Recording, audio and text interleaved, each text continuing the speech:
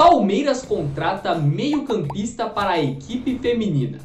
Gabriel Veron treina sem restrições, se recupera de lesão na coxa e está à disposição da comissão técnica para enfrentar o River Plate. E Júnior Barranquilha anuncia a permanência de Miguel Borja na Colômbia.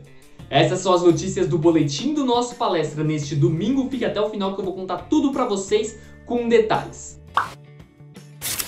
Meu nome é Guilherme Paladino e sejam muito bem-vindos a mais uma edição do Boletim do nosso palestra. E antes de compartilhar as informações com vocês, eu gostaria de pedir, por favor, que vocês deixem um like aqui no vídeo e também inscrevam-se aqui no canal do nosso palestra, porque a gente está trazendo informações diárias e aí você não vai perder nada aqui no seu YouTube, tudo em formato de vídeo.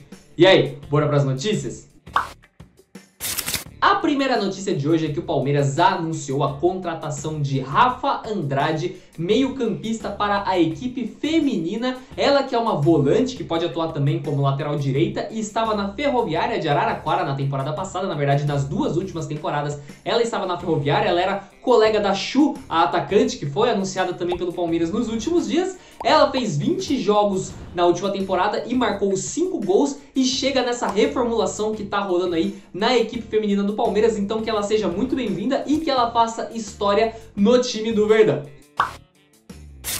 A próxima notícia de hoje é sobre Miguel Borja. O Júnior Barranquilha anunciou na madrugada deste domingo que o atacante fica na Colômbia, ele vai permanecer no Júnior Barranquilha. O nosso palestra apurou que esse tempo de extensão de empréstimo será por seis meses e será naqueles moldes que nós já discutimos no, nos boletins do nosso palestra anteriores. Caso vocês não tenham visto, dá um procurar aí no YouTube, Borra Boletim, nosso palestra, que vocês vão ver todos os moldes certinhos, a gente já tinha antecipado essa negociação, mas então aí o Palmeiras não vai contar com o Borja pelos próximos seis meses.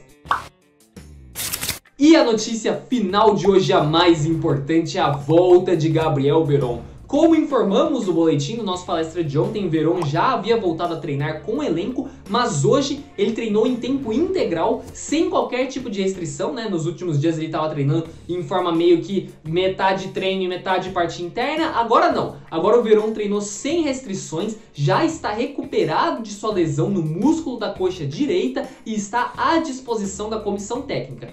Como ele ficou algum tempo sem treinar e sem jogar, não é certeza que ele vai jogar contra o River Plate, muito menos que ele será titular. Mas vai depender da avaliação da comissão técnica e pode ser sim que ele esteja no banco de reservas e entre em algum momento da partida contra o River. Gabriel Silva, por sua vez, que também tem uma lesão na coxa, na verdade um edema na coxa, ele treinou, mas ele teve que sair ali durante o período para fazer um exercício na parte interna, né, todo aquele procedimento de fisioterapia, então ele não tá 100%. Zé Rafael, que foi de salto nos últimos jogos, treinou também, tá tranquilo e liberado para enfrentar o River. O Palmeiras vai ter aí uma pedreira, a partida mais importante do ano nessa próxima terça-feira. E essas foram as notícias do boletim do nosso palestra deste domingo. Caso vocês tenham gostado, peço por favor que deixem um like aqui no vídeo, inscrevam-se aqui no canal do nosso palestra, ativem o sininho porque assim todas as notificações vão ser enviadas no seu celular diretamente, vocês não vão precisar ficar entrando no YouTube para ver se tem vídeo novo ou não. E é isso, gente. Meu nome é Guilherme Paladino. Foi uma honra ter a audiência de vocês e até a próxima. Valeu e falou!